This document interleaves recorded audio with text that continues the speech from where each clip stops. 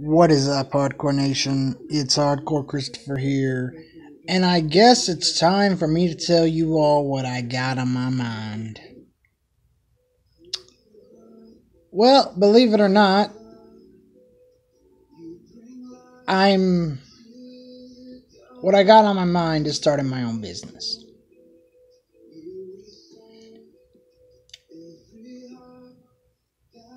It's gonna be a new adventure.